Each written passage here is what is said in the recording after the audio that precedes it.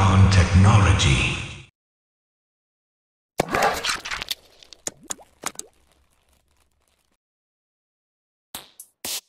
The 555 integrated circuit is an easy-to-use timer that has many applications.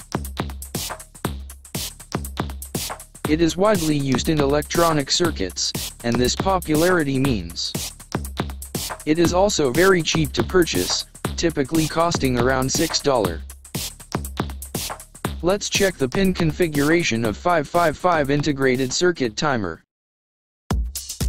Pin 1, ground. Connects to the 0 volts power supply. Pin 2, trigger. Detects one third of rail voltage to make output high. Pin 2 has control over pin 6. If pin 2 is low, and pin 6 is low, output stays high. Pin 3, output. Pins 3 and 7 are in phase. Goes high, about 2 volts less than the rail.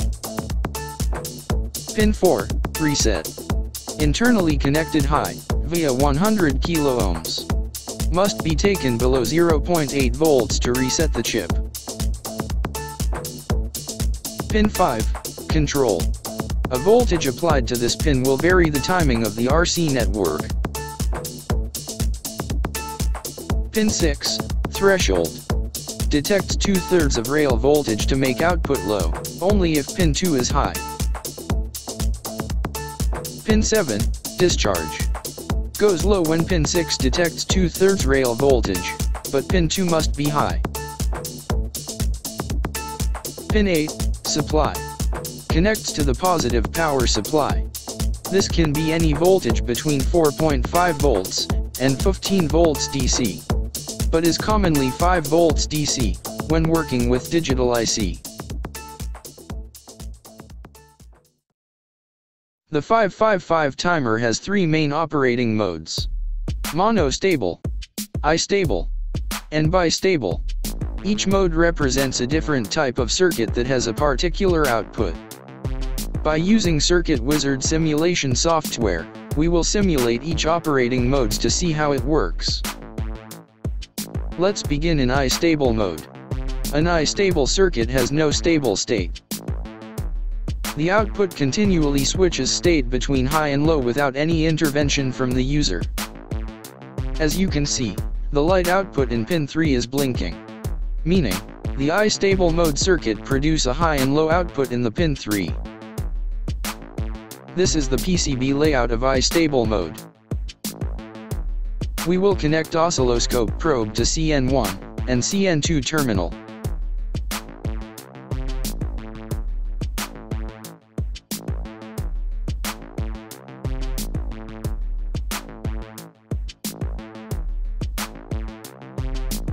As you can see, the output continually switches state between high and low square wave.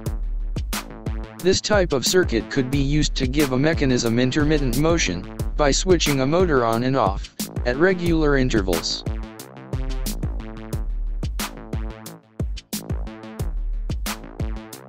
The mono-stable mode. A mono-stable circuit produces one pulse of a set length, in response to a trigger input such as a push button. The output of the circuit stays in the low state, until there is a trigger input. Hence the name monostable, meaning, one stable state. As we press on the push button, pin 3 output will energize. On the PCB layout, we will add a push button as input. To see the output, we will connect oscilloscope probe to CN5 and CN6. This type of circuit is ideal for use in a push-to-operate system, for a model displayed at exhibitions. As we switch on the oscilloscope, you can see a high state displayed in the monitor.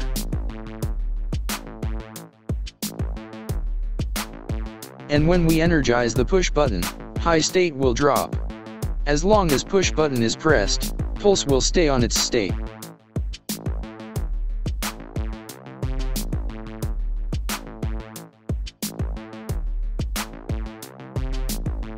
The bi-stable mode.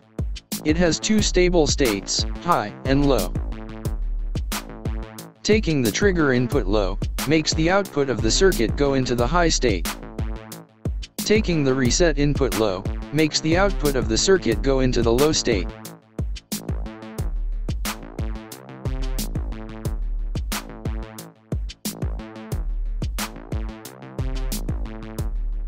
Going on to the PCB layout, we will use two push button as trigger and reset. When we energize trigger push button, output will stay at high state. And when we energize reset push button, output on high state will drop, and it will stay in low state.